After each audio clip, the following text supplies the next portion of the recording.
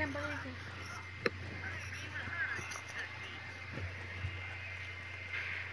I can't believe this.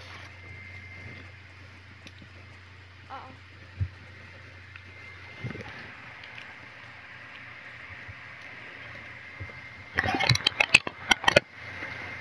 Alright, you guys, if you can't hear me,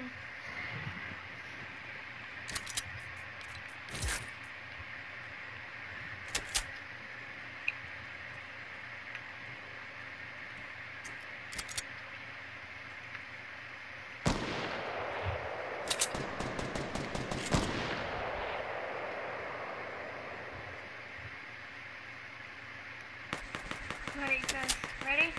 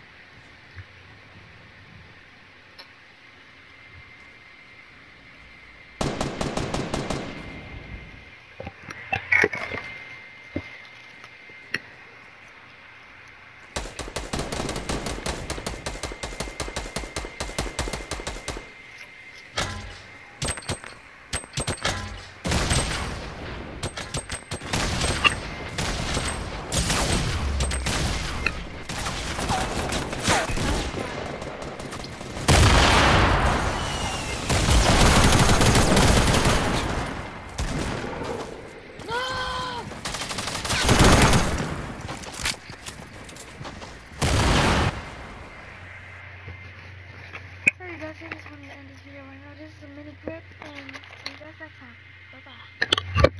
Bye-bye.